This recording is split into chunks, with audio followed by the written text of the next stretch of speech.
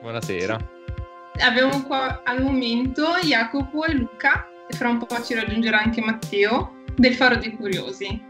Grazie mille anzitutto per eh, partecipare a questa live con noi questa sera. Siamo molto molto contenti di avervi con noi. Mi ha colpito tantissimo, avevo scritto nei messaggi infatti il, il vostro profilo Instagram, il primo modo in cui vi ho conosciuto, veramente complimenti, seguiteli e magari poi scriviamo anche il, il link al canale Instagram perché è veramente bello, dopo ci raccontate anche un attimo come vi organizzate e tutto quanto e in più fate anche live il martedì e il venerdì giusto su Twitch? Sì, giusto. Quindi mi raccomando seguiteli su entrambi perché vale veramente la pena.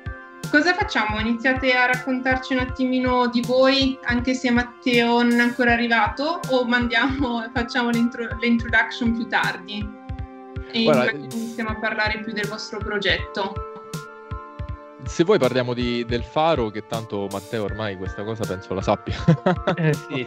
Dopo Dai, tre anni. Iniziate allora a raccontarci un attimo come è nato pro- questo progetto di divulgazione, quando, come vi siete ritrovati voi tre, e da quanto esiste, che cosa rappresenta anche per voi.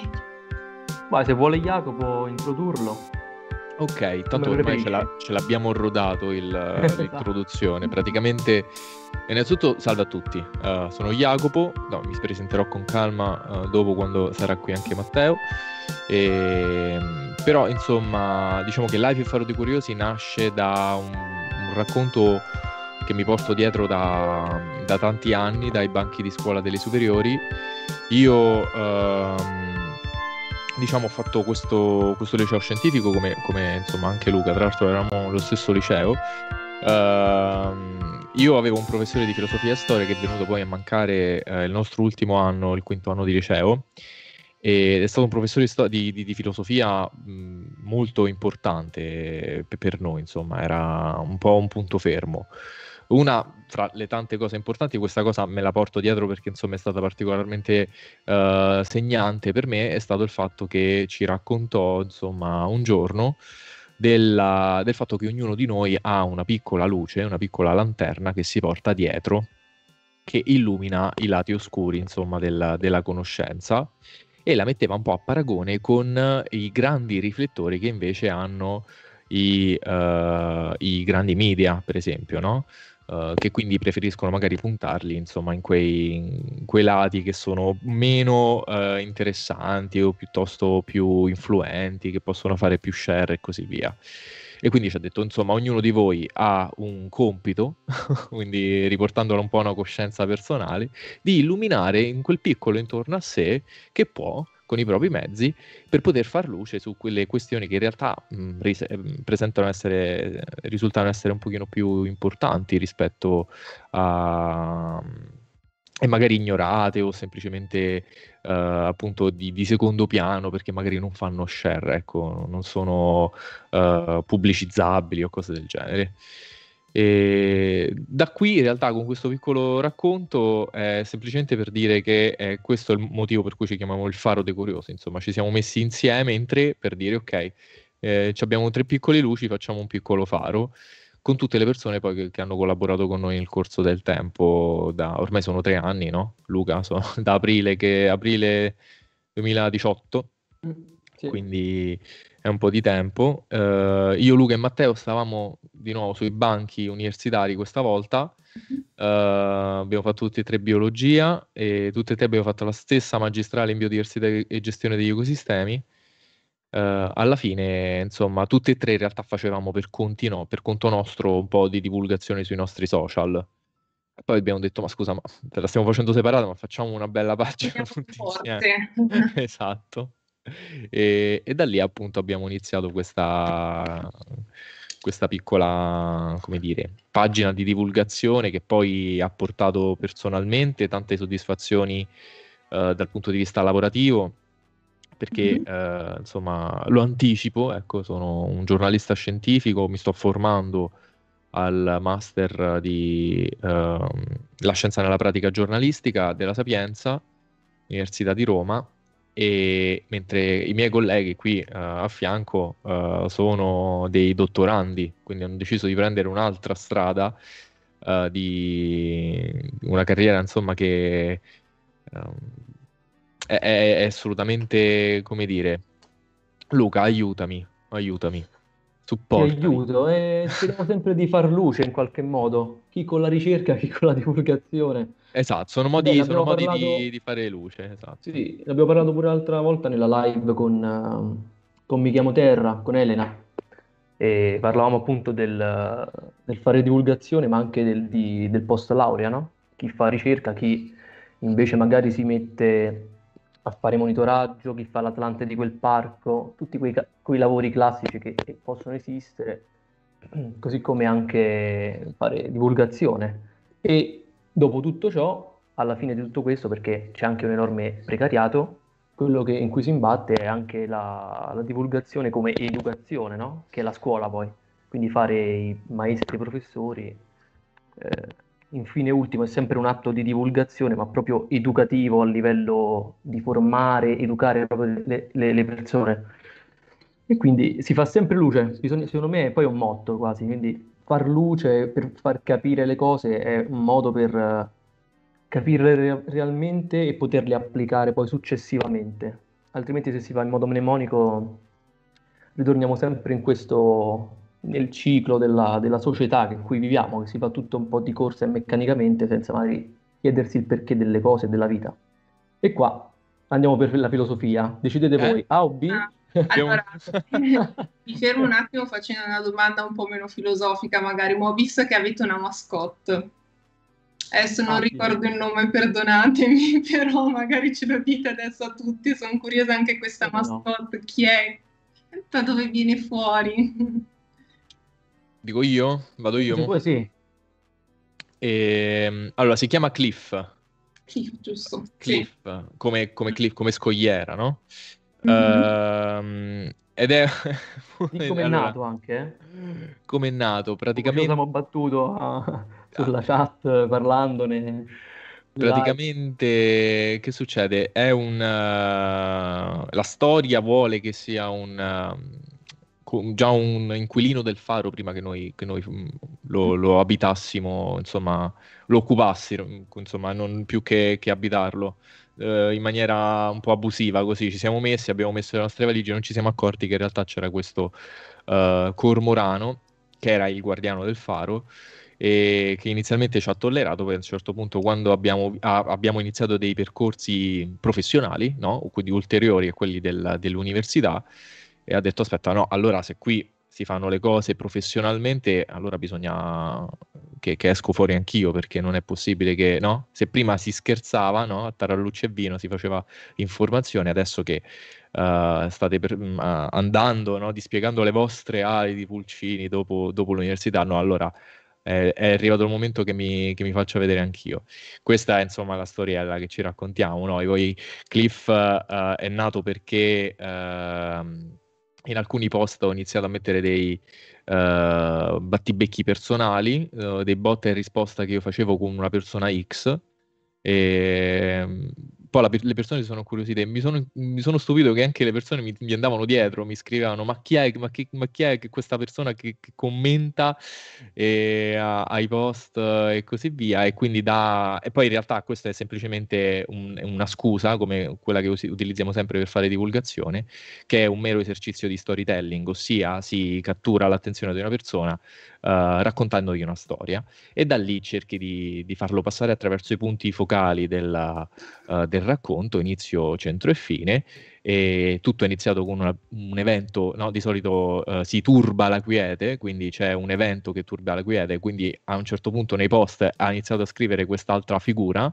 piano piano la tensione, fra virgolette ovviamente, è cresciuta sempre di più fino a quando è arrivato a palesarsi Uh, era una, un evento speciale, era al, ad aprile con, con i nostri uh, tre anni, mi sembra che l'abbiamo, che l'abbiamo mostrato, insomma, uh, si è palesato insomma, questo, questo, figuro, questo losco figuro, un po' arrabbiato, sempre crucciato con questa lanterna in, insomma, che ci prende sempre un po' in giro, che non ci, non ci ritiene capaci, però. Perché è stato all'oscuro tanto tempo, dai. Giustamente, giustamente. Ma con questi racconti che ci avete un po' eh, espresso in questa fase. Avete mai pensato a fare anche, anche un po' la vostra passione di sì divulgazione, ma anche, come ha parlato Luca prima, proprio di anche eventualmente in un futuro di educazione?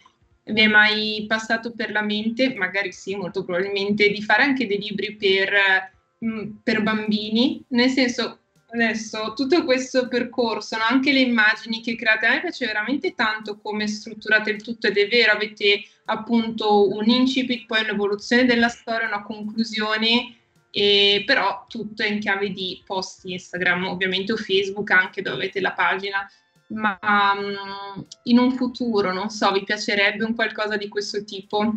Tipo creare proprio delle storie per educare e divulgare la scienza, magari perché questo personaggio Cliff mi, mi, piace molto come cosa. Eh, davvero, secondo me, può essere molto carina. Eh, quindi, eh, le storie di Cliff. O... Eh. diciamo che, guarda, tant- allora, qualche anno fa, un paio di anni fa, eh, avevo anche un contatto per, che mi aveva chiesto, insomma, ma con la divulgazione, insomma, come va, che fate? E, insomma, ero uscito fuori dal discorso che era, sarebbe stato carino fare una sorta di libro per, uh, per, i bambini, insomma, sia per la divulgazione, ma in stile per i bambini. Però lì è molto complesso, anche perché interfa- interfacciarsi con i bambini dipende anche di che età, perché bisogna fare tutte immagini, quindi come si presta poi la nostra grafica alla fine. Però, quindi le storie di Cliff, come dicevamo adesso, però bisogna tener conto sempre di una sfida perché alla fine il bambino di 8 anni non, è, non ha le stesse capacità o le stesse diciamo, skills ecco, eh, di uno di 10 o di 12, cambia totalmente il target. Però si può fare tutto, diciamo così, e sarebbe molto, in realtà molto interessante mettere su carta qualcosa che, che, che con così abbiamo già pronto. Tant'è mm-hmm. che se Jacopo si ricorda, un anno e mezzo fa, forse, o, o sì, circa un anno e mezzo fa, avevamo fatto dei libretti, dei libelli, chiamiamoli così, cartacei, era un giornaletto scientifico dove riportavamo sia i post che delle news e in occasione soprattutto del, in, dell'estate 2019 dove abbiamo, siamo, abbiamo partecipato a, allo stage a Ostia di, di, di, di, come si chiama Jacopo? È un festival delle associazioni di volontariato. E... Non mi ricordo il nome però. E Social Days si chiama. Social Days. Eh, Ostia, diciamolo per chi, per chi insomma non, non, è di Roma, è alla spiaggia di Roma, la spiaggia romana insomma.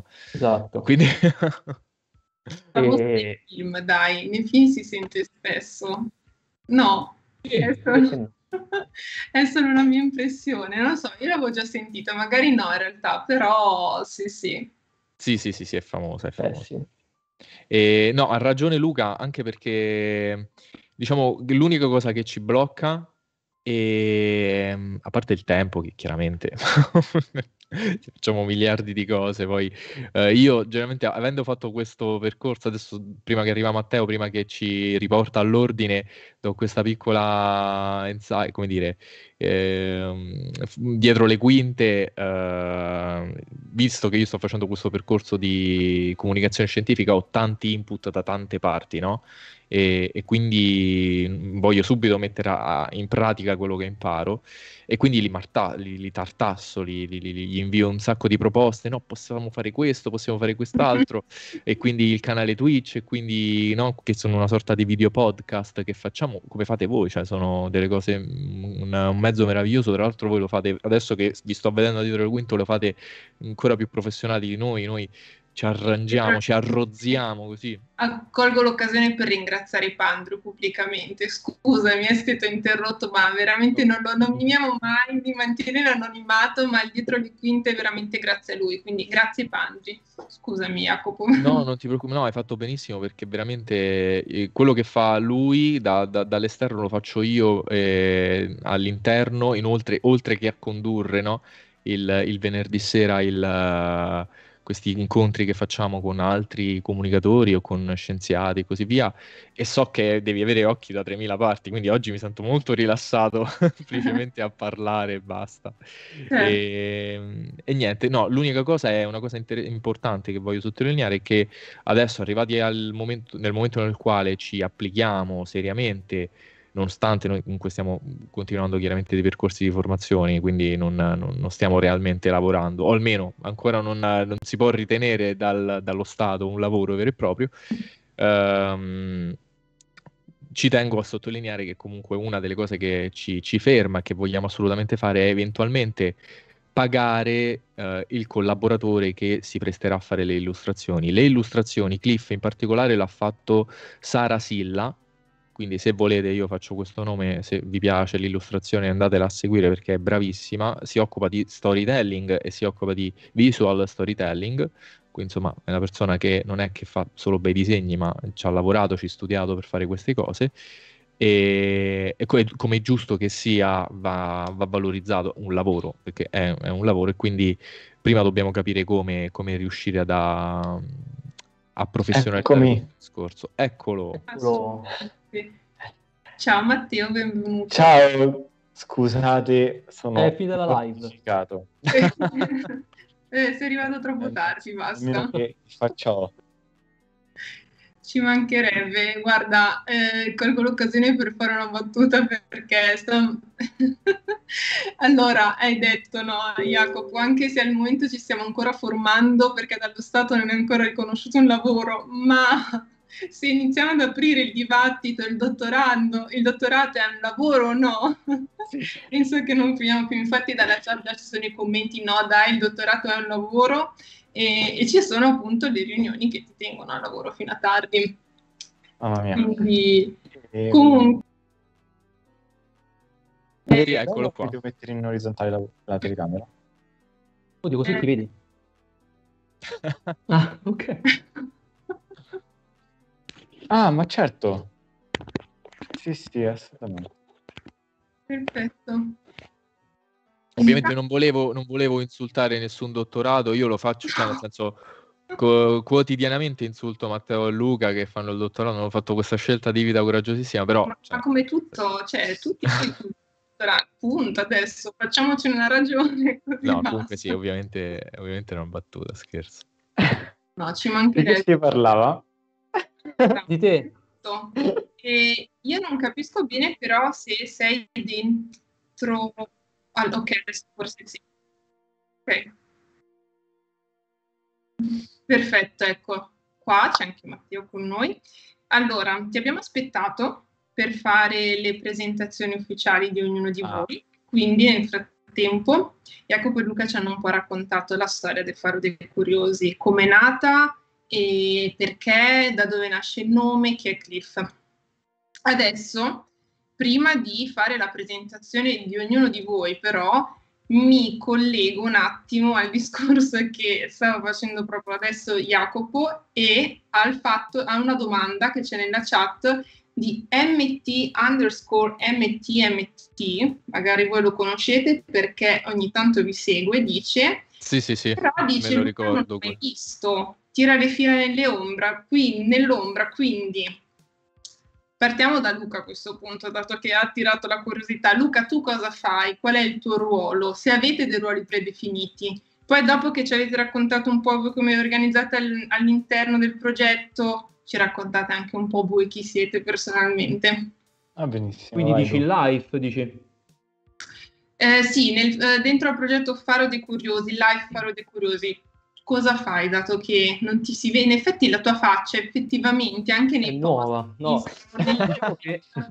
Diciamo ognuno ha, ognuno, ha, il suo, il suo ruolo, no? come, come, pure nella società, ognuno ha il suo ruolo. Poi, eh, bene o male, eh, quando fai divulgazione puoi, slash devi usare un po' i social no? per, per, apparire alla fine e per far arrivare le, le, le, i contenuti, quello che diciamo poc'anzi.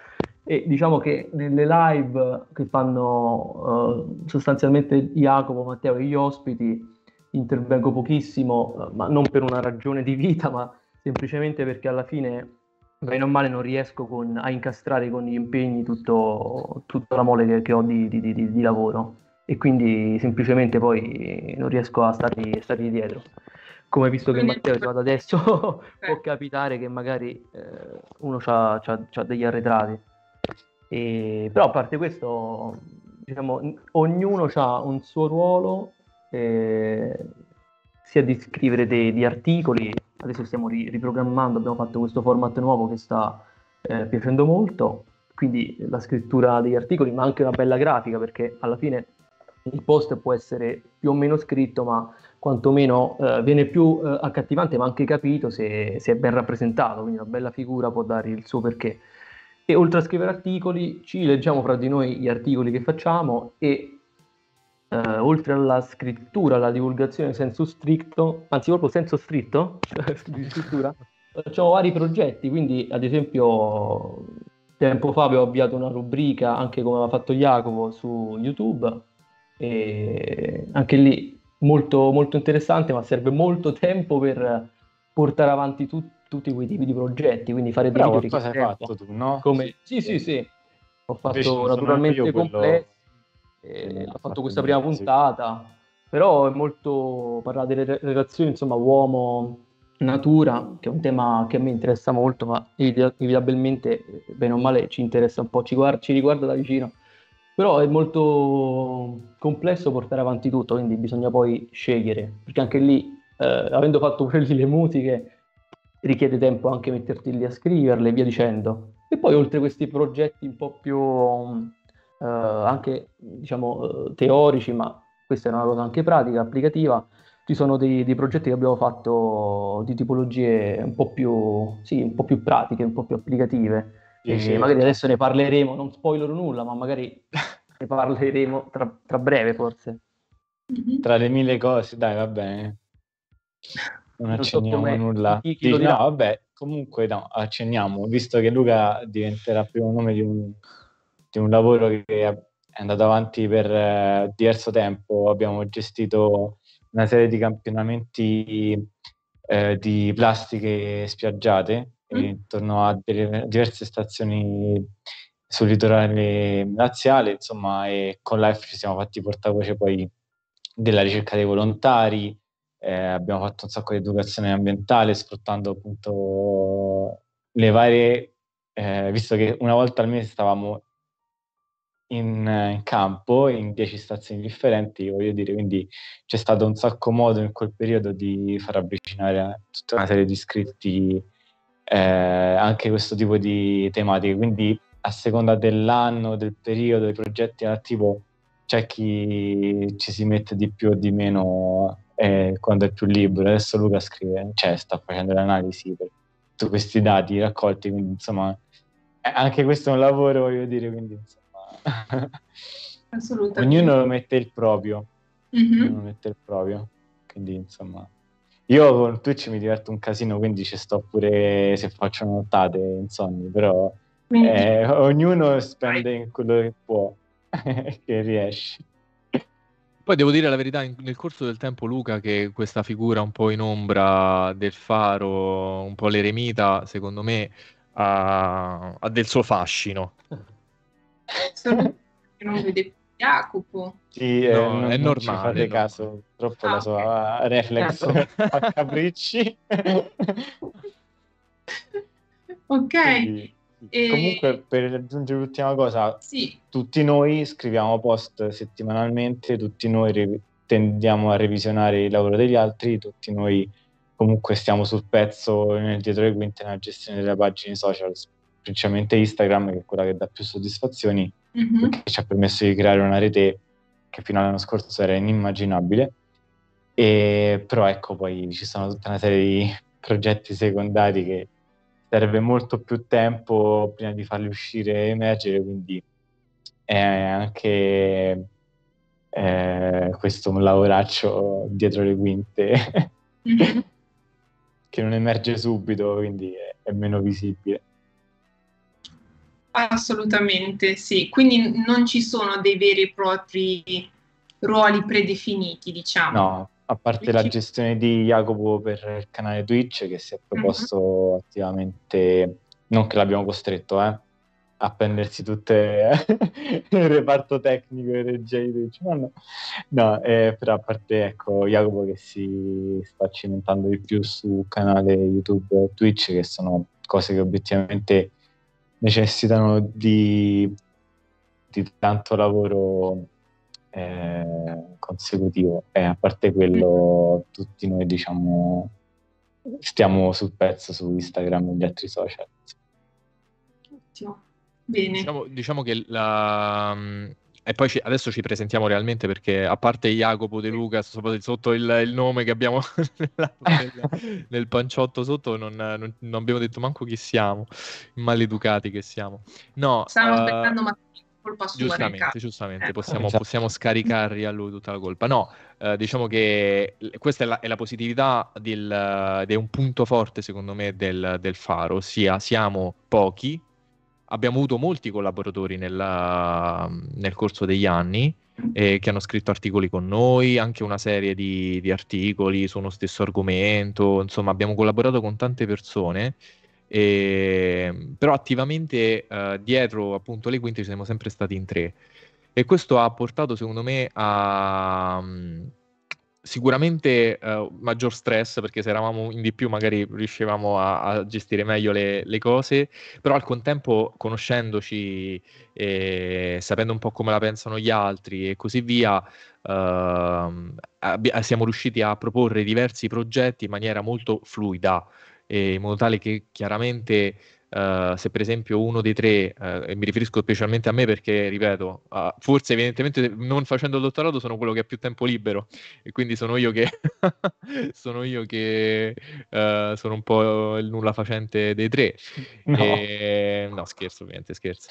E, però appunto mh, proponendo tante cose Uh, ecco, è normale che alcuni volti compaiano di più rispetto ad altri e, ed è secondo me la cosa migliore, soprattutto per, in, per il nostro progetto, ossia se ognuno di, uno di noi tre ha lo schiribizzo di dire ok, voglio fare questa cosa, la possiamo fare, non dobbiamo fare delle infinite riunioni di programmazione con 10 certo. collaboratori per capire, no?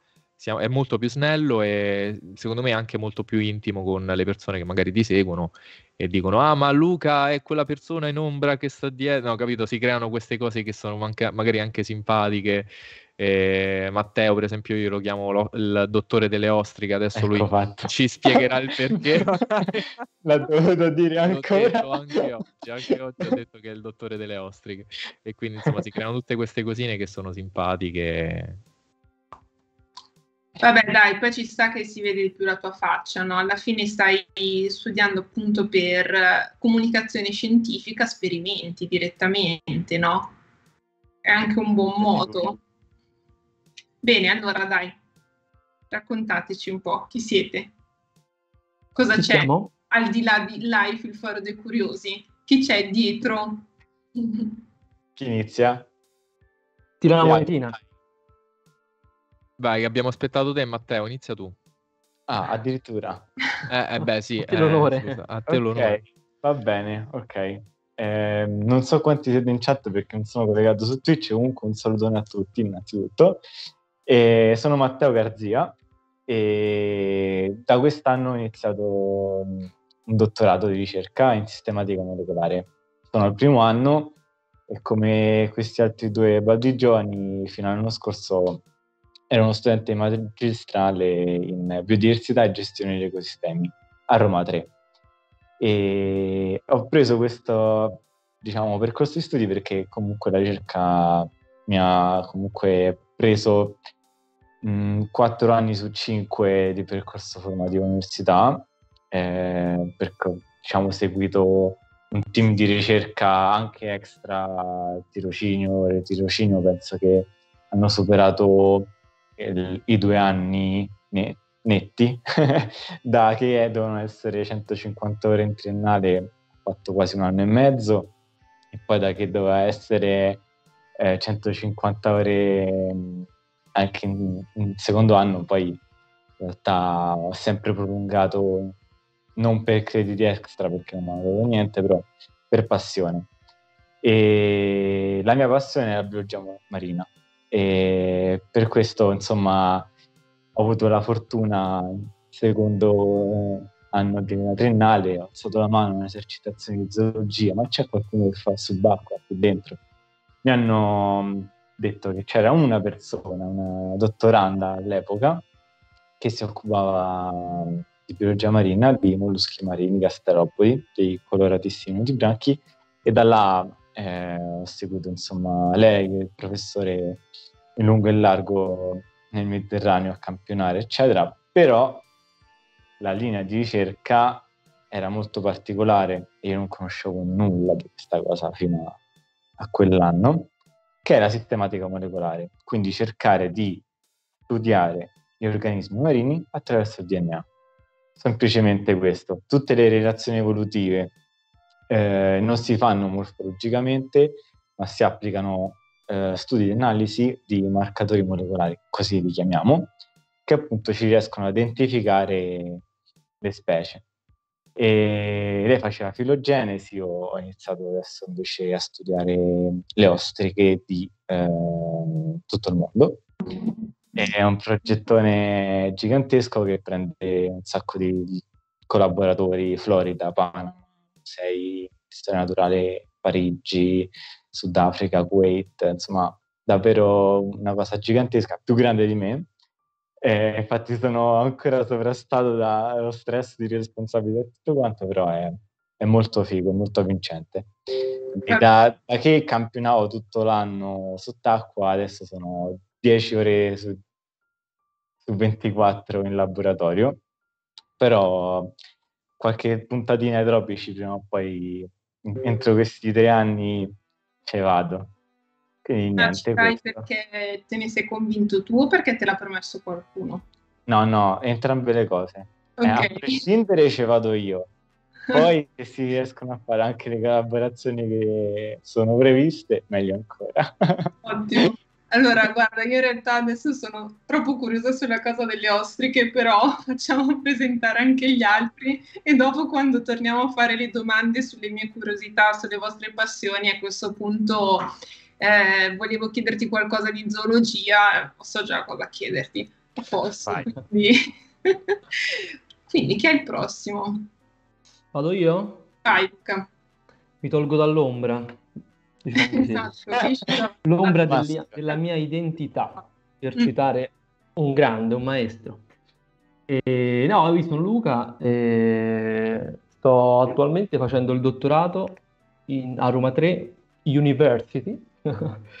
E sto lavorando su, sulle plastiche, sulle macroplastiche e praticamente ho lavorato in magistrale, sempre come i due baldigioni, poc'anzi dicevano, ci siamo lavorati in biodiversità e gestione degli animali e io ho preso il settore, perché poi ognuno di noi ha scelto un settore diverso, di ambientale, io ho scelto il settore della, dell'ecologia delle acque, quindi freshwater ecology, e praticamente ho studiato gli impatti che potevano avere le microplastiche su, sui macroinvertebrati, che sono dei piccoli animaletti che vivono sul fondo di fiumi e, e, e torrenti e ci possono indicare la qualità dell'acqua. E quindi ho visto un po' come si comportavano in relazione alla presenza di microplastiche. Tant'è che alcuni di loro, i tricotteri, si rifacevano l'astucci, gli astucci con dei ciottoli e sassi, e in degli esperimenti invece hanno, hanno appunto fatto astucci di plastica.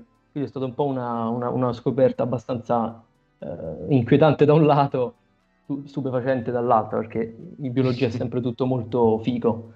E eh, chi ha lavorato con me lo, lo, lo, sa bene, anche chi ha fatto stage, tirocinio, tantissimi ragazzi che mi hanno aiutato.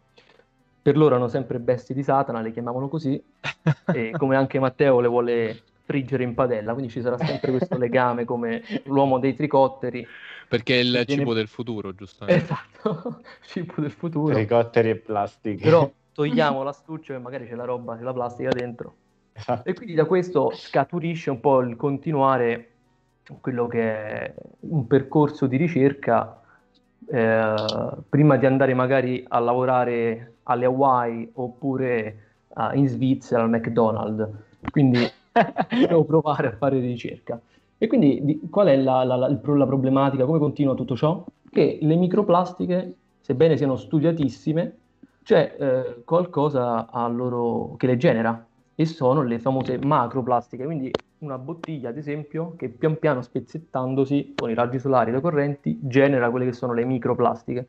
E quindi ho detto andiamo a vedere un po' più in alto, dato che poi nessuno le studia. Infatti ci sono veramente pochissimi studi a, rigu- a riguardo sulle macroplastiche, soprattutto nei fiumi, nel loro trasporto lungo i fiumi.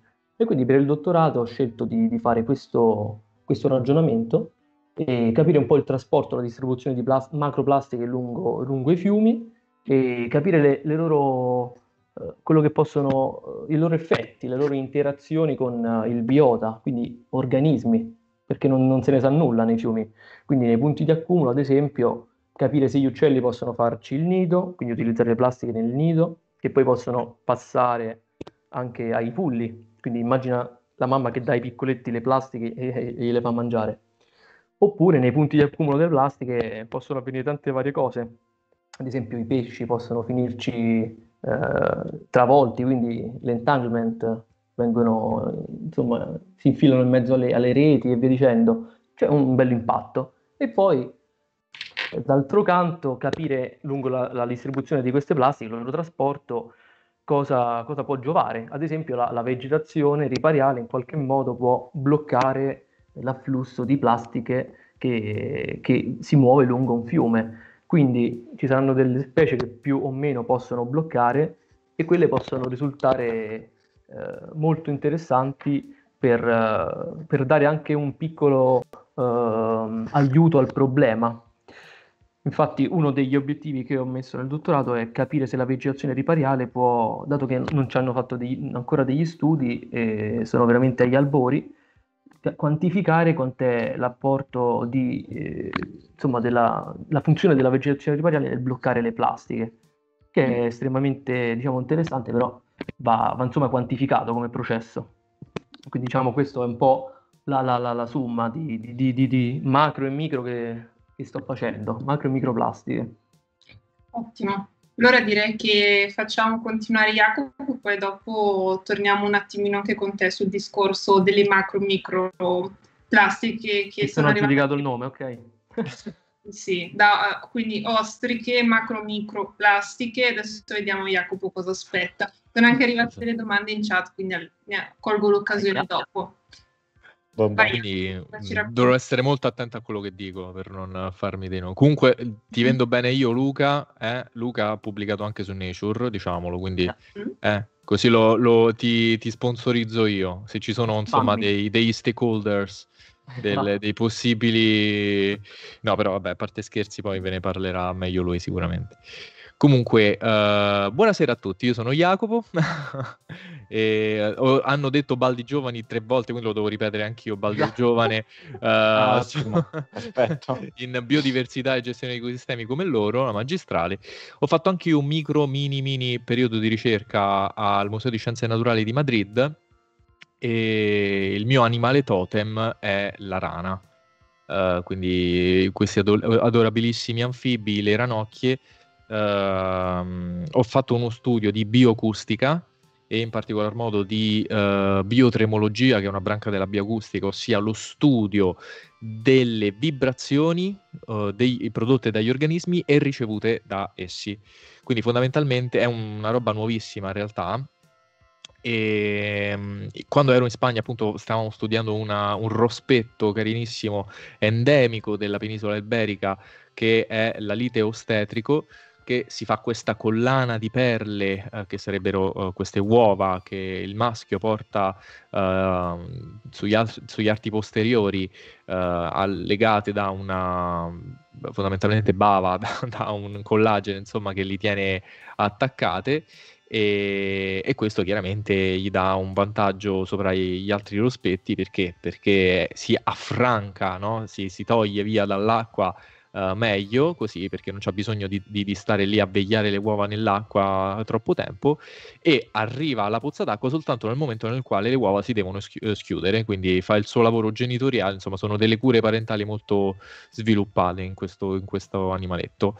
E, e, noi abbiamo insomma visto se c'erano delle vibrazioni che davano fastidio a questo animale, vibrazioni che emettiamo tutti i giorni, quindi per esempio il camion che passa in autostrada, piuttosto che il rumore dei passi, piuttosto che una cosa che c'è in Spagna tantissimo, più che, che in Italia, ossia le pale eoliche.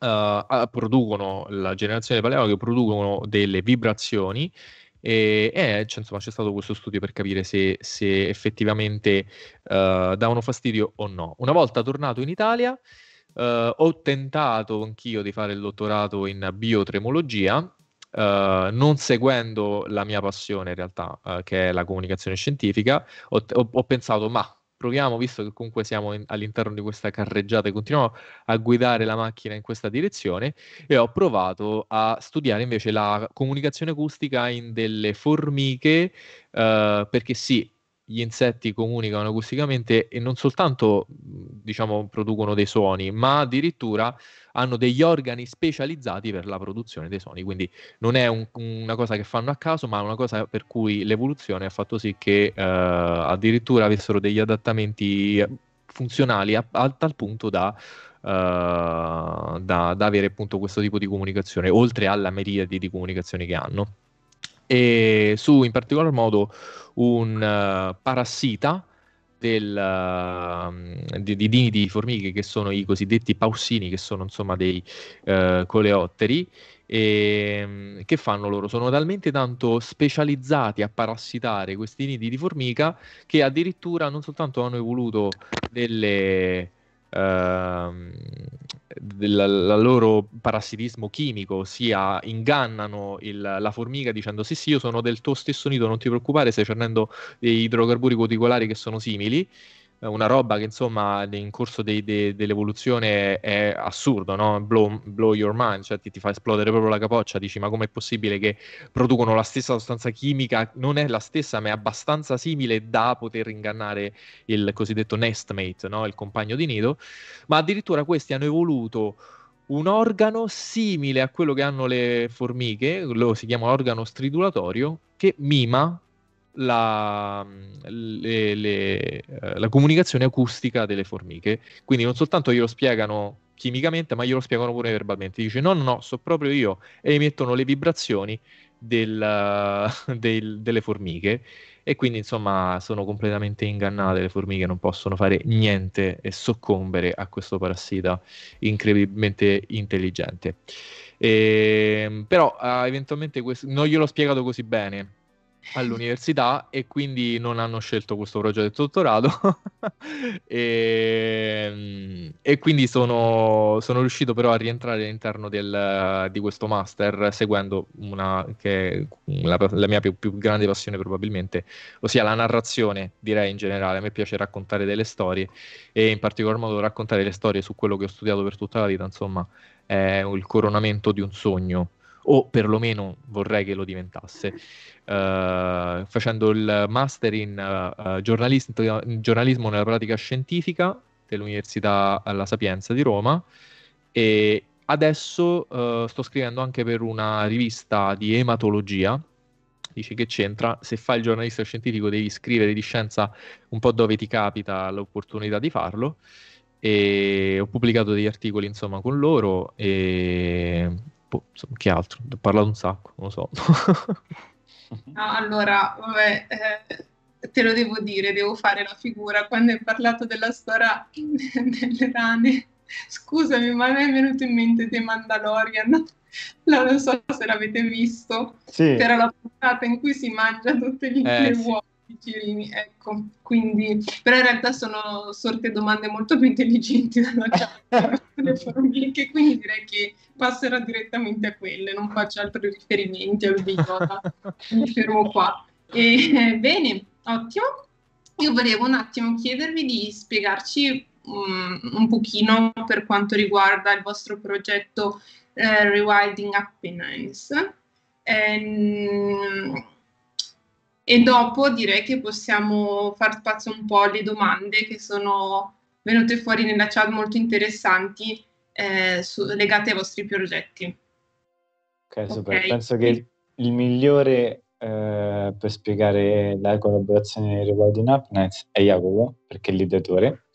Mm-hmm. Eh, io e Luca lo abbiamo eh, ah, lo stiamo supportando. Esatto. Possiamo, possiamo fare così, se no parlo solo io. La introduco, poi Matteo, ieri tu, ieri e l'altro ieri abbiamo fatto un'esperienza molto interessante, magari la racconti tu.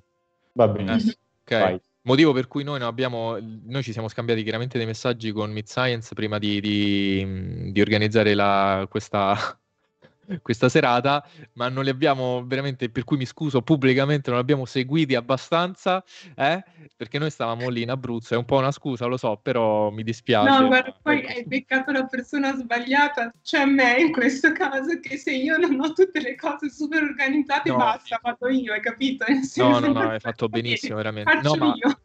Dico, ti capisco perfettamente perché anch'io faccio, degli ospiti, quindi proprio la persona che ha degli ospiti ogni settimana, poi alla fine non organizza, cioè nel senso è stato proprio una cosa, vabbè, comunque a parte le, il prostrarsi in pubblico così, sì. uh, Rewilding Apennines è un'associazione nata nel 2011, fa parte di un consorzio più grande uh, che si chiama Rewilding Europe, e, e, fondamentalmente si basa su una filosofia, su una cultura molto semplice, riportare allo stato uh, wild, uh, che per, nel concetto inglese e americano del termine, il, degli spazi, dei passaggi uh, che, che, sono fortemente urbanizzati, insomma, che hanno l'influenza dell'uomo in ogni caso.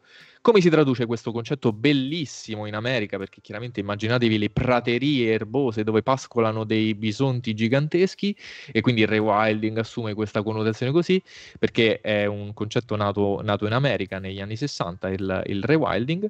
Uh, come si traduce in Europa e specialmente in Italia, visto che non c'è un, uno spazio, un lenzuolo, un fazzoletto libero di terra dove effettivamente chiamarlo posto selvaggio, perché in Italia non c'è non si può, non si può. Quindi in Italia assume un'altra connotazione e più in particolare nell'Appennino centrale con Rewilding Apennines si fa uh, specialmente uh, convivenza uomo-animale uh, selvatico piuttosto che Uh, si fa ricerca, quindi si dà una mano alle università e istituzioni che si occupano di ricerca di quegli animali selvatici facendola in maniera sostenibile, piuttosto che aprire delle attività uh, che chiaramente eh, essendo praticamente l'uomo attaccato all'animale selvatico in maniera contigua, perché eh, in, immaginatevi che non ci sono chilometri di spazio fra qui e l'habitat del, per esempio in questo caso la specie bandiera più famosa dell'Appennino centrale, l'orso bruno marsicano, non c'è una porta che dice ok qui mi fermo, l'animale vaga, vaga perché giustamente non, non presenta confini geografici, non, non, non, riconosce quelli politici, specialmente non riconosce il confine fra il parco regionale d'Abruzzo, Lazio e Molise con, il, so, con l'Aquila, dice vabbè io entro, non è che mi fermo al comune passo al casello, non gli frega niente all'animale, lui vaga così eh, come è giusto che faccia. E quindi piuttosto che relegare gli animali eh, si cerca di abituare, di, di, di, di sensibilizzare le persone alla, alla presenza e soprattutto a far nascere delle attività economiche, sostenibili, turistiche anche, che però abbiano in mente che non sono gli unici padroni del, del territorio dove, dove, vivono. Ed è un'iniziativa molto ambiziosa. Per questo posso forse annunciarlo ufficialmente per la prima volta. Sono diventato, uh, a quanto pare, uh, Young Rewilding Ambassador, quindi ambasciatore della cultura rewilding in Italia. E, um, il che, che, significa? Semplicemente che si fa comunicazione sul rewilding come stiamo facendo da aprile, abbiamo iniziato questa collaborazione da aprile uh, con loro. E, e, in particolar modo eh, abbiamo iniziato questa serie di video che dovrò montare appena ho il tempo, appena ho la, la vita per poterlo fare, uh, che abbiamo realizzato ieri e l'altro ieri perché siamo andati a fare una bella cosa Matteo. Sì, Diciamo che mi sono venuti a trovare dopo mesi di isolamento.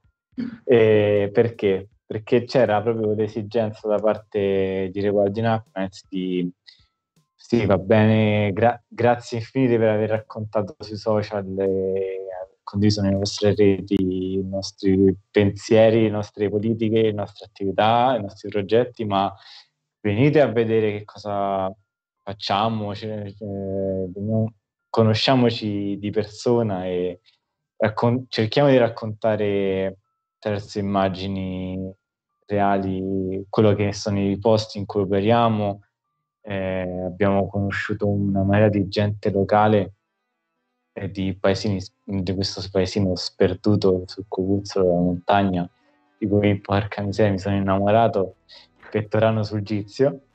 E quindi sostanzialmente l'obiettivo di questo weekend è stato quello di riprendere eh, sia attività di volontariato da parte di mh, ragazzi e ragazze che ci vengono da tutta Europa per fare questo tipo di stage, eh, perché come diceva Jacopo è una rete europea, quindi immaginatevi ragazze e ragazzi di città europee che vengono a Pettorano sul Gizio per 20 giorni volontariamente perché gli stanno a cura la possibilità di fare delle azioni positive eh, per attività di conservazione di specie selvatiche eh, target come l'orso marsicano, ma non solo, eh, assolutamente. E quindi ecco, abbiamo cercato di raccontare con Jacopo come regia, perché conosceva meglio di tutti, perché ha dovuto studiare più di tutti tutta una serie di attività e era a contatto con eh, i, diciamo, chi lavorava con Rewilding, quindi Angelo e Mario e Valerio, che sono stati super eh, disponibilissimi. Abbiamo raccontato anche diciamo, la visione del sindaco di Vettorano, quindi una parte politica importante del luogo e ci ha raccontato diciamo, i pro e i contro di vivere in zone dove appunto la componente naturale è preponderante, per cui appunto la gestione sostenibile delle risorse naturali è fondamentale, la, la condivisione dei luoghi è un principio cardine. E quindi niente, sostanzialmente usciranno una serie di video documentaristici mm-hmm. eh, che racconteranno appunto alcune delle realtà attorno a Rewilding Happiness a quello che faranno. Quello che fanno e quello che faranno, continueranno a fare. Quindi that's it. Diciamo. Ma i video usciranno sul vostro canale o sulla loro pagina? Vai Jacopo. No, no, questo è addirittura, vedi, è tutto perfetto perché vedi, lei è bravissima a fare regia perché lo può dire Luca, può parlare di una, di una roba perché uh, noi ci siamo andati con una troupe che abbiamo creato la, due anni fa ormai. Sì. E... Eh sì, infatti mi volevo legare. Esatto, adesso lo, lo, spiega, lo, spiega, lui perché noi abbiamo creato questa troupe, si chiama Oikos Film e in, an- di nuovo ho invorticato anche loro a fare, come si dice a Roma, invorticare, cioè prendere eh, e coinvolgere forzatamente quasi. No, sto scherzando, ovviamente sono stati molto contenti. Abbiamo creato questa piccola troupe e abbiamo fatto questi video, probabilmente li pubblicheremo sul canale YouTube di, di loro. Ok. Allora, un pochino... Cos'è August Film? Esatto. Esatto. No, eh ormai un paio di anni, come diceva pure Jacopo, eh, c'era un po' venuto il senso di raccontare ulteriormente quello che, che si vede con occhio anche da, da biologo, no?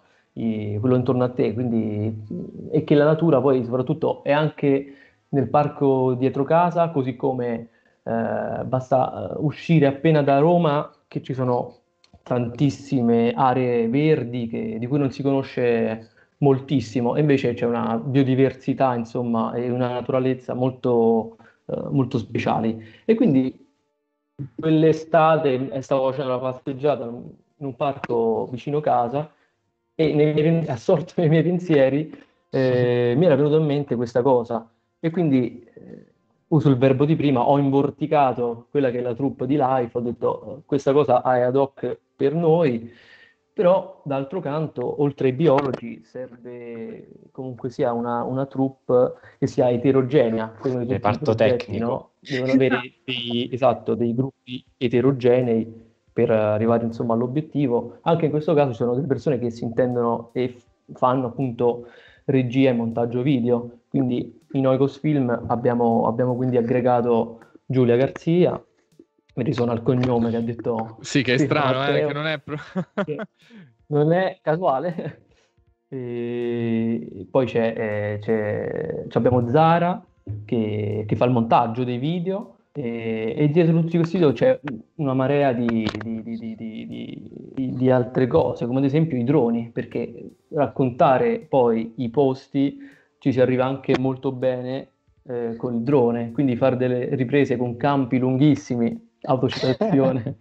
eh, grazie a Francesco e, e, Luigi, che sono altri due dottorandi di, di Roma 3, eh, che stanno a biologia con noi, con me personalmente, è stato molto interessante. Quindi si, si è creata questa, questa equipe, diciamo, uh, di, di Yoikos Film e il progetto, il, il, primo che avevamo fatto era Ex Urbe, che sta ancora in, in, in uscita, tra l'altro a breve uscirà una, la, l'ennesima puntata che è ormai la, la terza puntata, eh, su, su, un'area protetta che è molto, molto eh, secondo me è bellissima, è fantastica. Il lago di, di eh, scusami, il Allumiere e la Tolfa, che sta, è un gioiellino del Lazio che pochi magari conoscono e personalmente, non, nonostante non sia un'area protetta senso stritto, ma c'è un piccolo SIC all'interno, eh, la tolfa non è, non è retta, ma è naturalisticamente un, un, gioiellino del Lazio.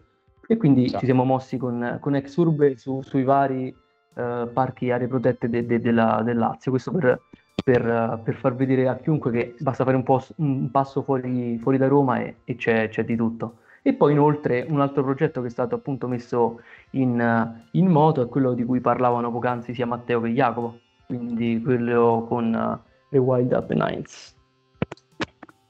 Ottimo, benissimo. Eh, invio sulla chat il canale YouTube su cui potete trovare. Ah, grazie. Così almeno potete trovare sia il canale, eh, la pagina Instagram di cui parlavamo e trovate l'equivalente su Facebook, eh, sia il link a Twitch, così potete seguirli e poi seguire le live, sia il link al canale YouTube su cui appunto eh, vengono mh, mm, caricati poi mm, questi film. Scusate, io qua con questa chat, ok, ce l'ho fatta anche per la chat di Skype, bene. Bene, ottimo. Allora direi che ehm, possiamo passare un po' alle domande che sono arrivate. È veramente poco il tempo perché con i vostri tre profili, tantissimi argomenti super interessanti che creano poi una concatenazione veramente di domande e altri argomenti, veramente bello. Quindi vediamo se riusciamo a fare tutto, ma, ma sicuramente... Vabbè, buonanotte.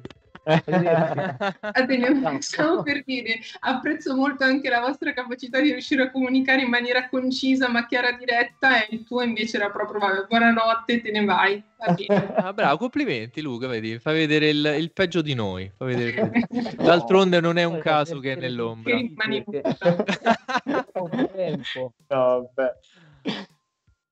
Dunque, allora no, aspetta, la domanda sulle ostriche, a parte che vogliono sapere dove sono le ostriche più buone al mondo, prima, giustamente, cioè, anche le più economiche ti chiederei, cioè se riesci a trovare, perché quello è un altro fattore purtroppo. Allora, c'ho la risposta.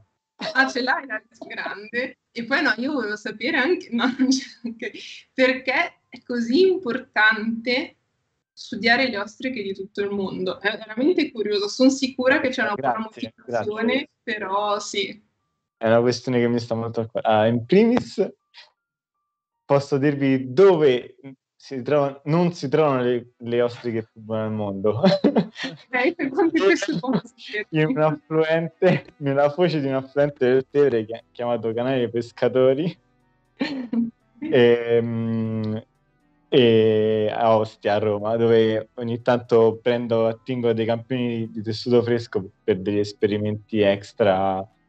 E quindi là ci passa veramente l'acqua più putrida del mondo.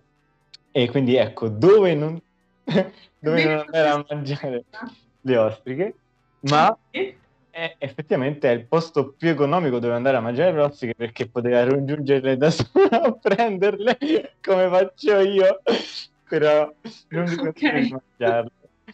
Comunque, a parte gli scherzi, le ostriche sono mh, allevate e coltivate a seconda se usiamo inglesismi o quant'altro eh, in tutto il mondo e secondo la FAO eh, una specie in particolare, ma poi in realtà soprattutto in Asia e in America se ne coltivano di diverse specie.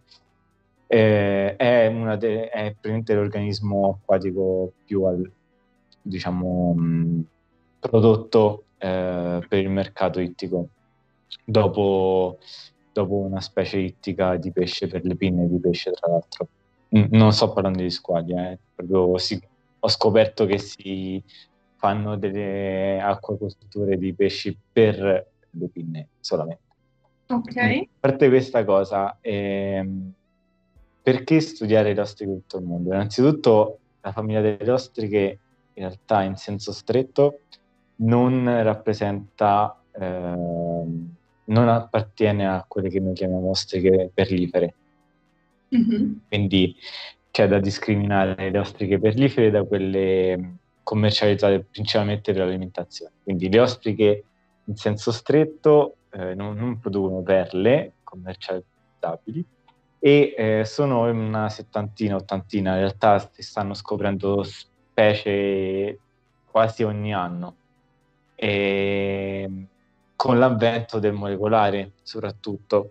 Perché? Perché la tassonomia classica, che si basa sulla morfologia l'identificazione di caratteri, diciamo, discriminabili eh, per le specie, non funziona ci sono una serie di convergenze di fenotipi, quindi dell'aspetto della conchiglia, eh, dettati da condizioni ecologiche per cui ostriche anche di sottofamiglie totalmente distinte tra loro possono acquisire morfologie della conchiglia uguale, identica, specificata nei lu- luoghi in cui appunto c'è grossa corrente, quindi le conchiglie si eh, assottigliano anche se magari il morfotipo naturale è estremamente più arzicocolato e complesso.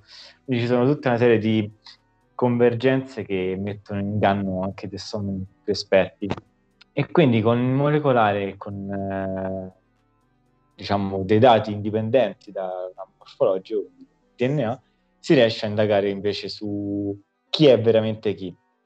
E quindi perché è importante studiare queste cose? In realtà, allora, in primis è pura ricerca di base e come la storia della scienza ci insegna, eh, la ricerca di base non sai mai dove ti può portare, ma senza ricerca di base noi a questo punto non staremo neanche facendo delle live su Twitch, quindi ehm, in generale io porto sempre avanti um, spada tratta l'importanza della ricerca di base, anche in ambiti in cui non sai mai dove si va a parare. Adesso in realtà è incredibile perché le ostriche sono, essendo molto commercializzate, eh, vengono anche trasportate anche involontariamente da rotte commerciali navali, eccetera. Quindi l'introduzione di specie aliene che possano andare a intaccare ecosistemi ehm, e l'equilibrio degli ecosistemi è un una cosa importante è riuscire a individuarli con strumenti tec- eh, grazie alla tecnologia in modo più immediato è veramente un, un buon, uh, buon, strumento applicativo, ad esempio per uh, zone tropicali dove la biodiversità è, è, già costantemente minacciata per altri fattori, quindi basta, cioè, l'introduzione delle specie aliene è una tematica calda e la possibilità di individuare una specie aliena con eh, veramente poche procedure laboratoriali non è da poco. E poi in generale, insomma, mettere fine a 200 anni di sinonimie e nomi sbagliati mm. e dare finalmente i nomi a, a, alle persone, insomma, è una cosa importante in zoologia perché appunto poi cascata si possono fare studi di ecologia, di genomica, quindi macroecologia e macroevoluzione, dando realmente i nomi giusti alle cose giuste, non sbagliando poi tutta una serie di studi a valle. Quindi questo è più o oh. meno una delle tante cose in realtà. Uno, immagino sì che poi potresti andare avanti probabilmente per ore a spiegare poi i vari motivi però molto interessante. Devo ammettere che nella mia immensa ignoranza in materia davvero non avrei mai immaginato, ma veramente interessante. E questo è il bello, no? Di fare questo genere poi di live, si conoscono appunto persone eh, che hanno degli interessi bellissimi e diversissimi e c'è la possibilità di trovarsi, di parlarne ah. e, e, avere appunto un pubblico che segue. E, insomma, si crea una serie di interconnessioni veramente, veramente belle, molto interessanti, sì. Bene, bene. Allora, adesso passiamo all'uomo delle macro-microplastiche che ha acquisito a sua volta altre domande. Allora, mh, mm, provo un attimo a unirle tutte e tre, che così almeno poi tu provi a farci un po' un discorso. Allora, vai. Mh, mm, sì, allora, Pandri chiede, ma è vera la storia che molte microplastiche partono anche direttamente dalle lavatrici? Domanda 1. Domanda 2. Che dati usati sulle, usate sulle microplastiche fluviali o che fiumi state studiando? Eh, ce n'era una terza, sono sicura. Mi fermerei qua intanto, non me ne dimentico. No, ah, no. una volta gli astucci erano fatti di conchigli, oggi li conchigli... Scusa, questa non era una domanda. Vabbè, leggiamola, voglio, voglio ridere. Te la rileggo così. Allora, una volta gli astucci erano fatti da conchiglie, oggi le conchiglie sono fatti da astucci. No, non confermo. È geniale, è geniale, è geniale. Eh, eh, ma questo va oltre tutto, risponde a tutto. Ok. quasi. Allora e... passiamo va bene. In ordine... In ordine, boh, nemmeno sparso perché non mi ricordo più. Com'era? Ah, le, le lavatrici. Le, sì, lavatrici, lavatrici. Quindi cronologico. Uno, rispondo alla prima domanda. E, ehm, sì, è vero, perché ci sono mm, le, mm, le lavatrici eh, che ad esempio con lavaggio dei vestiti possono rilasciare le, le, fibre, microfibre, perché dai vestiti che comunque si hanno, sono composti di, eh, di vari tessuti plastici e polimeri plastici, da lì eh, il, lavaggio insomma può, può, può provocare questa, la fuoriuscita poi di, di, di, microfibre, quindi vanno a finire in, in scarichi e, arrivano anche ai, ai, a quelli che sono i depuratori. I depuratori, indipendenza di come vanno a funzionare poi, sono, secondo la letteratura, un pool di rilascio di, di fibre, microfibre nei, nei fiumi. Quindi effettivamente sì, questo fenomeno è stato, studi- è stato abbastanza studiato e dibattuto in, da vari scienziati. Quindi sì, effettivamente sia da vestiti che da, da lavatrici un, era un bel eh, di, di, di, importanza. L'altro punto che mi sare- come domanda mi sarei aspettato se le microplastiche, oltre le secondarie, cioè quelle che vengono da degradazione di macroplastiche, se ci fossero altre no? uh, fonti invece nessuno l'ha chiesto e invece qui era importante sottolineare che anche soprattutto per il pubblico eh, femminile esatto. no, gli scrubs no, sono, mm-hmm. esatto, gli scrubs perché dico scrubs perché dentro questi prodotti cosmetici che soprattutto il pubblico femminile che ci ascolta utilizza, eh, ci sono delle palline, quelle che sfregano no, eh, il corpo, che sono composte di polimeri plastici come il polietilene o il polipropilene. Mm-hmm. E quindi quelle vanno dirett- sono, sono uh, microplastiche primarie, cioè l'industria le preforma, le eh, origina proprio industrialmente in questa maniera per, per questo uso. Anche le sfere che ci sono nei dentifrici, allo stesso modo, sono plastiche, eh, microplastiche primarie, eh, quelle pallettine che stanno nel dentifricio. E tutti questi poi vanno a finire eh, di conseguenza in scarichi, vengono portate a, a influenzare quella che è la uh, plastic pollution. Mm-hmm. E di conseguenza, invece, rispondendo come... Posso farti una domanda riguardo a questo? Hai, certo. menzionato i trucchi, no? Mi viene in mente, però quando ti trucchi non ti lavi direttamente la faccia, ti strucchi e il cotton fioc lo butti nell'indifferenziata, quindi in teoria c'è una sorta di minore inquinamento e solo un'illusione. Vabbè, a parte che poi c'è eh, in realtà differenziata, ma lasciamo da parte. Eh, ok, in realtà perché sei una brava persona e fai la differenziata slash indifferenziata, però ci sono tanti di quei prodotti che vengono rilasciati direttamente nel water e quindi persone non sensibilizzate, tu immagini anche persone più anziane, anche fino a qualche decennio fa non c'era molto questa sensibilizzazione che c'è oggi, anche grazie ai mass media, e le cose venivano buttate direttamente anche a mare no? con questo gioco. È un po' quello che stiamo anche vedendo con Addio Cotton Fioc, il progetto di cui parlava prima Matteo. Stiamo vedendo che ci sono tantissimi rifiuti ritrovati sempre eh, sulla spiaggia, sulle dune, e sono sempre quelli, ce ne sono mh, di alcuni gruppi sempre preponderanti, perché eh, alcuni vengono dal mare, vengono trasportati tramite i fiumi verso il mare, altri eh, vengono, provengono anche da, da, queste operazioni di cui parlavo, quindi vengono scaricati da casa e passano direttamente verso, verso poi i, mm-hmm. i, lidi. Certo. Invece la, la, seconda domanda che provo a ricordare... Che da ricordi. Volete metterla alla prova? Ok. Vai, no, dai, eh, è tardi. No, no, che dati usate sulle, macro, sulle macroplastiche ah, fluviali o che fiumi state studiando? Allora, per le macroplastiche in realtà stiamo, stiamo studiando la vegetazione. Ah, ci sono diversi progetti. Il, il primo di cui menziono è la vegetazione ripariale eh, su diversi fiumi nel Lazio, come ad esempio l'Aniene, che è, è molto interessante in quanto affluente poi del, del, Tevere, quindi si mette sul Tevere che a sua volta poi porta il suo contenuto di, di varie plastiche verso il mar Mediterraneo quindi questi due fiumi principalmente, e poi anche tanti altri fiumi e torrenti della, dell'Alto Lazio verso il Reatino.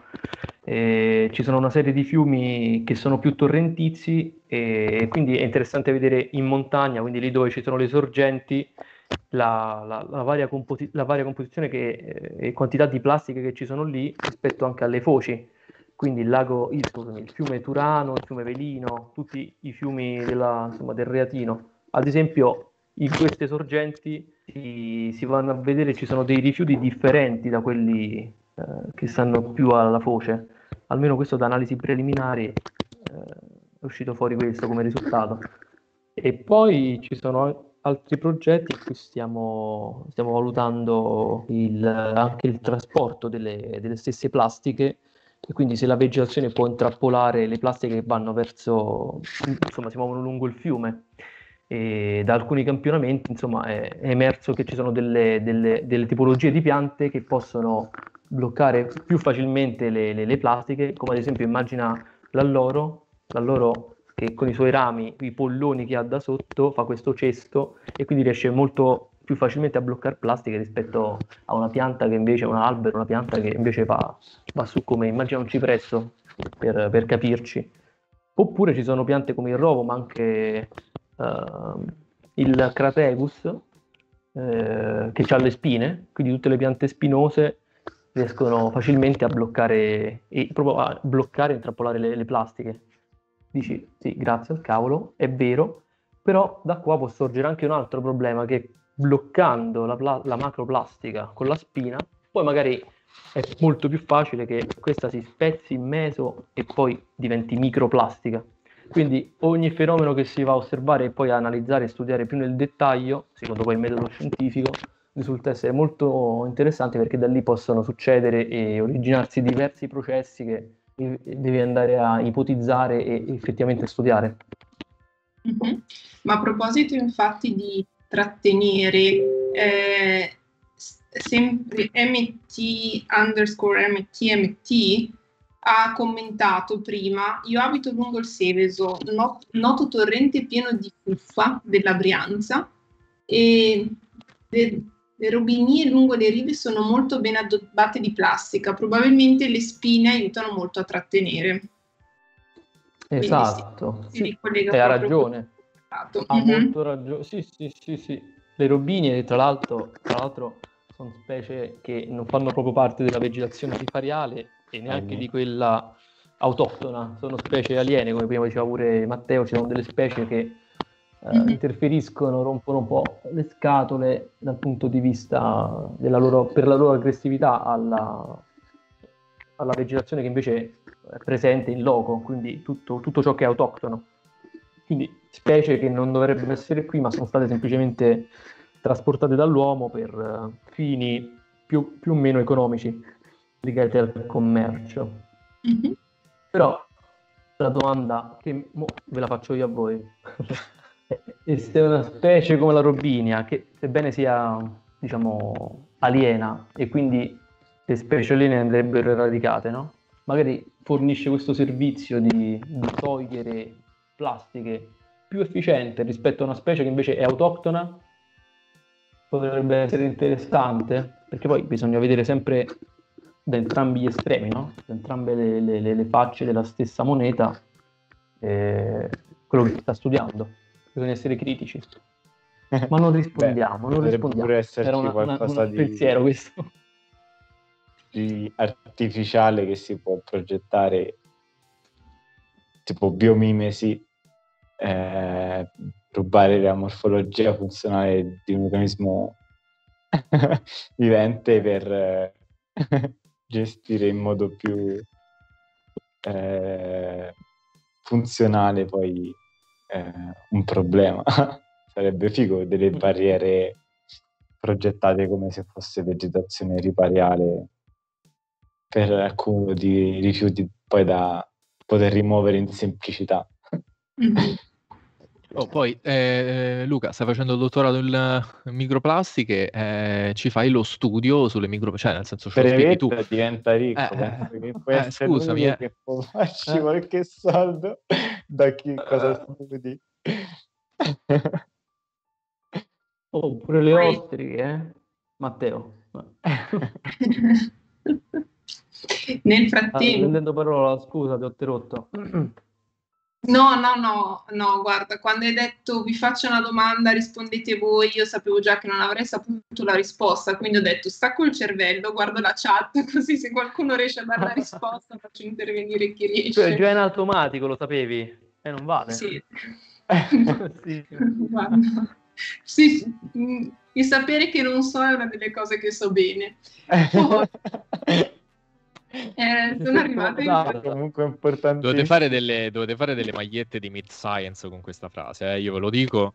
Io sono già proiettato anche sul uh, fare dei soldi tramite la comunicazione. Come possiamo fare? Vendiamo delle magliette con scritto una rivisitazione della frase socratica. Io il sapere di come hai detto, aspetta, ripeti, il eh, sapere. Scusa, ma certe perle escono una volta in effetti giustamente. Tanto è registrato tutto? È registrato, è registrato. È registrato, bravo, facciamo un po' Grazie per l'idea. Sul merchandising mi piace molto, ci penseremo, ci penseremo. no, allora, eh, Vale Shicom. Oh, che... Vale, ciao Vale. Perfetto, un'altra vostra eh, seguace, seguace. No, vabbè, è anche una. pure lei è una comunicatrice. Seguitela su Instagram, anche lei fa okay. delle cose bellissime. Chiedo, chiedo perdono, vale. E ehm, appunto diceva confermo quando facciamo le pulizie alla plastica sulla spiaggia per la tutela eh, del fratino troviamo sempre questi tipi di plastiche quindi mi domando qual è l'impatto reale sulla catena alimentare della fauna marina ci sono tanti... Hai detto dei nidi di plastica, trovano? Tipi. Ah, tipi, ho sentito male. No, eh, ce ne sono tantissimi, sì. Eh, in mare può, può, avvenire davvero di tutto, quindi dall'ingestione del, dell'iter, del beach marine litter, quindi immagina un gabbiano che porta eh, anche i rifiuti no? Eh, al, al, ai pulli per quando gli porta da mangiare, quindi c'è l'ingestione diretta, ma c'è anche quello che è l'essere strozzati e l'impigliamento nelle plastiche. Quindi quando ci sono delle buste di plastica, ad esempio, e sia i pesci, ma anche eh, le tartarughe marine, ad esempio, così come i delfini, no? ci vanno a finire in mezzo le reti di plastica, quelle cui, le, scusami, le reti di pescatori con cui si va a pescare anche. Quindi c'è un, una miriade di, di, di, inquinamento e poi con l'ingestione delle microparticelle, microplastiche, eh, queste possono dall'organismo essere trasferite pian piano lungo la catena trofica e arrivare fino ai top predators. Quindi immagina pian piano questi pescetti che vengono mangiati dai predatori e portano la plastica sempre più in alto fino a, ai predatori più, più alti che bene o male poi insomma, finiscono anche sui piatti dell'uomo, quindi il rischio è legato anche alla, alla salute umana. E, però ci potrebbe anche essere un... Uh, come dire, volevo fare l'esempio di, di problema c'è anche sulle dune, che, che, che del beach litter cui, cui faceva riferimento anche Vale, e, ad esempio uh, sulle, sulle, dune se ne, se ne, trova parecchio perché hanno una certa fisionomia, quindi dal mare ciò che, che arriva può essere benissimo spiaggiato e poi dietro le dune si può accumulare e ci sono delle, de, anche lì una vegetazione che eh, è spontanea o meno che può benissimo bloccare le plastiche. Ad esempio di recente un altro progetto che stavo facendo era vedere se una specie aliena che sta sulle dune, che è il Carpobrodus, poteva in qualche modo bloccare le plastiche. E, in, insomma, i, i risultati hanno, hanno, un po' mostrato che effettivamente sia i frammenti di plastica che il polistirolo che altri items venivano benissimo bloccati da, da questa pianta aliena.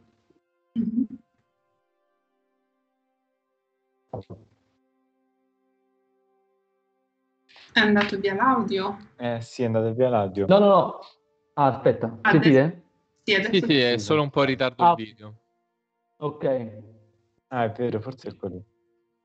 Ok, no, eh, ho finito forse dopo col video. Ok.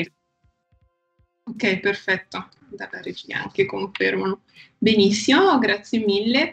Um, adesso penso che le domande per te siano finite per davvero. Quindi uh-huh. possiamo eh, andare avanti con Jacopo. Allora, Vale prima ha chiesto, quando hai parlato appunto della rana, se è eh, rana agile. Della... No, la, la, rana, abbiamo studiato un rospo innanzitutto in, in, in Spagna, che è l'alite ostetrico, quello là che fa la bella collana di perle che vi ho raccontato prima, e, e basta. Eh, eh, sono stato velocissimo. Perfettamente sulla tabella di marcia. Sì, sì, non lo, non lo trovate in, in, Italia, si trova solo in Spagna. Rospo okay. alite ostetrico. Ok. E, ehm, ah, Andrea, che appunto fa, fa parte di Mid Science, ehm, è rimasto allibito dal fatto che le formiche comunicano con i suoni e hanno, scritto proprio così, hanno pure i dialetti, ma sono solo io sconvolto dai dialetti delle formiche e dai parassiti che imitano e ancora va avanti perché l'argomento ha colpito. No, cioè, i grugnenti, i veri zombie parlerebbero in milanese. La devo interpretare come una domanda o... Mento. No, a riguardo, a riguardo c'è, c'è una letteratura. Sì, sì, una domanda probabilmente un po' più di spiegazione. Un Sì, discorsiva, un po' discorsiva. No, è pazzesca perché uh, hanno i dialetti. Innanzitutto, sì, beh, più o meno hanno i dialetti, cioè nel senso uh, hanno questi, uh, come dire, Uh, per esempio, uh, ogni, ogni, mm, nido di formica, ogni specie ha, uh, come sappiamo tutti, sono degli animali eusociali. Che vuol dire animali sociali? Non soltanto che sono sociali, che se vogliono bene, no, non vuol dire quello, vuol dire semplicemente che presentano delle vere e proprie separazioni in caste, attenzioni, e a differenza degli animali sociali, diciamo una cosa molto complicata che alle 10.20 sicuramente uh, la gente riuscirà a tenere in mente, è uh, il fatto che queste caste, questo sistema di caste è contemporaneo, ok? Per esempio ci sono altri animali divisi in caste, ma non sono definiti eusociali. Che vuol dire contemporaneo? Vuol dire che la regina vive nello stesso periodo di tempo in cui vive anche la, uh, l'operaia, uh, che lo stesso periodo di tempo in cui vive anche la, la, la, la soldatessa, eh? e quindi uh, si sovrappongono temporalmente queste, queste caste. ogni casta ha un suo dire, dialetto acustico, se vogliamo chiamarlo così, se vogliamo continuare la metafora. Questo meraviglioso uh, carabide, scusa, pre- prima ho detto coleottero, non è un coleottero, è un carabide uh, dei paussini, non soltanto imita mh, mm, uno di, questi, di queste uh, emissioni acustiche, ma le imita tutte e tre perfettamente. così. Uh, in particolar modo sto parlando, se volete andare a vedere questo animale su internet, di Pausus favieri, uh, che imita, um, che è parassita dei nidi di formica di uh, Feidole pallidula, Feidole scritto PH, e, che è la, la, insomma, la classica formica che troviamo nel giardino di casa pure in Italia, insomma, è molto distribuita nel, nel bacino del Mediterraneo. E che hanno queste formiche? Che perché parlano con, con, i, con i versi? Che fanno? C'hanno praticamente, non so se avete mai visto, c'è uno strumento sudamericano che è un bastoncino con, che, che, che uh, suona su una superficie ruvida e fa trrr, trrr, trrr, fa così. Non so se l'avete mai visto. Eh, c'è un nome particolare, non mi ricordo adesso come si chiama. Praticamente loro sul gastrum, che sarebbe la parte cicciotta che hanno dietro, fra il gastrum e il torace hanno un uh, organo che si chiama organo stridulatore, che non è nient'altro che una, una parte cuticolare così fatto con queste creste parallele, rigide, cuticolari, eh, sul quale mh, preme un plettro che si chiama plectrum, che è un plettro vero e proprio, cioè una parte triangolare che uh, fa come questo bastoncino di questo mh, strumento sudamericano che non ricordo assolutamente come si chiama, e fa questo, fa questo suono, fa questo suono che si chiama stridulazione. E, emettendo questo suono Uh, insomma, e l- lo stesso organo si chiama proprio organo stridulatorio, stridulatorio lo presentano anche i parassiti eh, però ce l'hanno sulle gambe, quindi invece di fare così col sedere loro, fanno così con la gamba e, e, e gli suona la gamba fondamentalmente. Guiro, che non è guiro ma è ghiro, perché gui in spagnolo è ghi, se non sbaglio. Cioè, l'anno in Spagna uh, mi dovrebbe aver insegnato che, che ghi. Gra- grazie, grazie. Quanto è bello. Pure io voglio avere una voce narrante terra. Regia. Ma guarda che è una cosa meravigliosa. Non è solo regia, ma pure i nomi. Ci spara così, esce fuori. Ma guarda che è una cosa. Ma poi come hai scritto? Posso sapere come hai scritto su Google? Strumento sudamericano che mette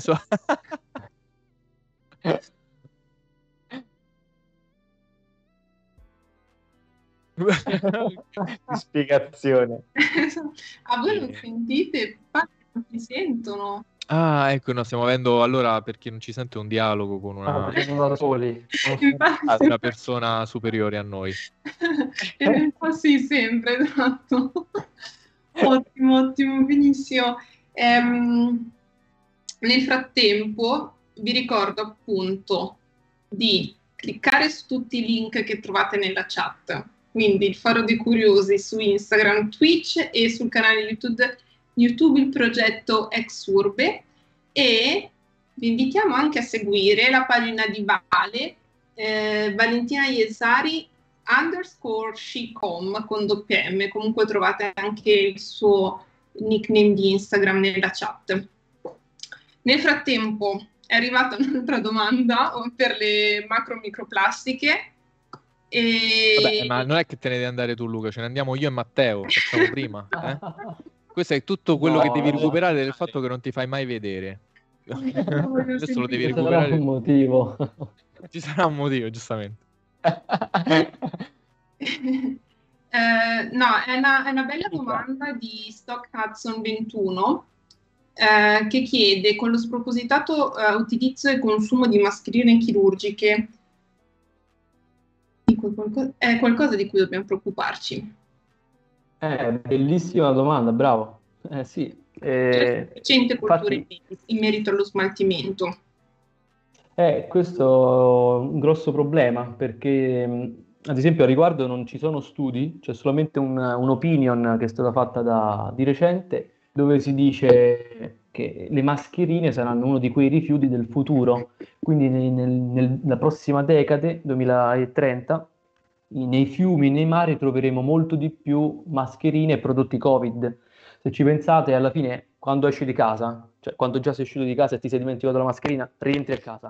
Quando sei a casa, ti ricordi di metterti una mascherina. Dopodiché, dopo la giornata, la prendi e la butti. Quindi ne consumi circa una al giorno. C'è chi la mette anche tutta la settimana, quindi uno al giorno, uno alla settimana, siamo miliardi di persone a utilizzarle, immaginate quante ne utilizziamo, ci sono milioni e milioni di mascherine che poi vengono mal smaltite, quindi chi, le, chi, le, rilascia nell'ambiente fa un grande danno perché poi la mascherina è composta di, di, un materiale che a degradarsi col tempo forma quelle che sono microfibre, ma anche quando la mettete sul naso, no? la muovete, se pizzicate un pochino vi rimangono delle fibre eh, sulle dita, mm-hmm. quelle sono delle microplastiche, delle microfibre che eh, possono fare tutti, comportare tutti gli effetti di cui abbiamo parlato poc'anzi. Quindi il consiglio per il momento potrebbe essere, ovviamente a parte gettare le mascherine, perlomeno parteci- partecipare alla raccolta differenziata, indifferenziata in tal caso, magari utilizzare anche delle mascherine riutilizzabili, no? tipo quelle di stoffa. Sì, ce ne sono. Allora, anzitutto non rilasciarle nell'ambiente, l'ho dato per scontato. Eh, brava, hai ragione. No, no, bisogna, bisogna però eh, sottolinearlo. E infatti eh, non va rilasciata nell'ambiente così come gli altri rifiuti, ma semplicemente buttata nell'indifferenziato chi vuole invece eh, fare un'opera di riciclo può utilizzare delle mascherine, eh, come dicevi tu. Eh, io non ho provato personalmente di stoffa, ma ne ho provata sì. Alla fine la parte fuori di stoffa è un, una sorta di filtro. All'interno c'è, c'è, questo, chiamiamolo filtro, insomma, che fa da eh, filtro per la PM2,5, mi sembra, per il particolato, insomma, che funziona anche per il Covid eh, che, che, protegge insomma dalle, dalle particelle esterne. Così e quelle lì si possono poi lavare, no? Mm-hmm. Si può, esatto, si, si può lavare la, la, mascherina e si cambia il filtro interno.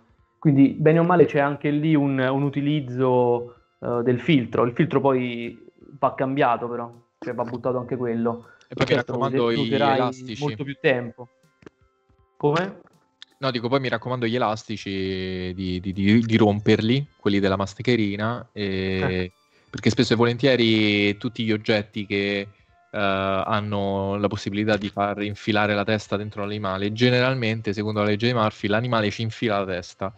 Quindi uh, se un animale può infilare la testa nei, nei buchi della, del, dei lacci della mascherina, lo farà e si strozzerà. No. E purtroppo non è una roba insomma, che è inventata, ma c'è una testimonianza fotografica ampissima della, uh, di come effettivamente le mascherine, purtroppo, a parte essere inghiottite così intere, uh, tutti gli strumenti. Questo in realtà è una cosa che ho imparato addirittura con i possessori di gatti. Chi ha un gatto particolarmente famelico, anche un cane, che si mangia di tutto, Uh, spesso e volentieri mi hanno raccontato delle storie di il mio, il mio, gatto si è mangiato un filo, eccetera, eccetera.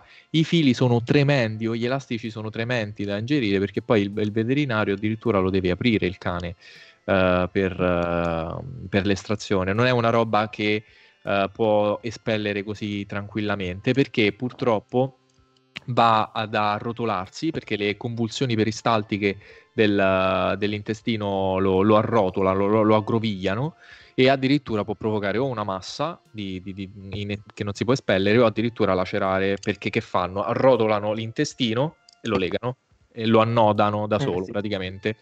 E questo negli animali di casa, se si mangiano un, un, oggetto, noi li portiamo magari, se siamo buoni, giustamente al, Uh, al veterinario. Pensate a un animale insomma, che è in mare, vede l'elastico del, del insomma, se lo mangia così, eh. Eh, è spacciato. Sai cosa anche? I, gli anelli. Gli anelli delle bottiglie di plastica mi ha fatto venire in mente, no? Che mm. hanno la stessa cosa. Quando, quando buttate que- le bottiglie di plastica, l'anello anche si consiglia di tagliarlo. Durante i progetti di Adio con Flock ne abbiamo trovati tanti, quegli cioè, anelli sulla, sulla spiaggia. Quelli...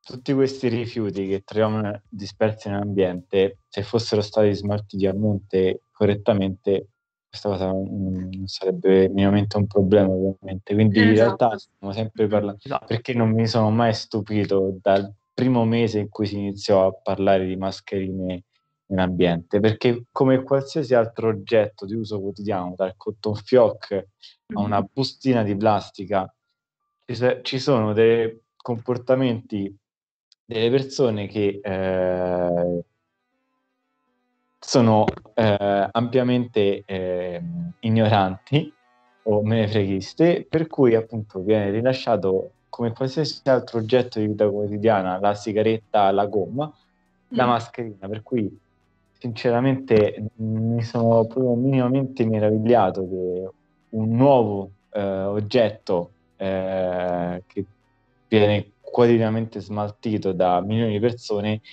si ritrovi in, mass- in modo massivo, massiccio nell'ambiente. Quindi in realtà purtroppo la, l'unica cosa che secondo me funzionerà a lungo termine non sarà la fine della pandemia, ma continuare a educare alla, alla corretta smaltimento dei rifiuti. Cioè, eh, non sarà la fine della pandemia a risolvere il problema eh, maschere in ambiente o rifiuti di altro tipo in ambiente, ma solo una corretta. Assolutamente.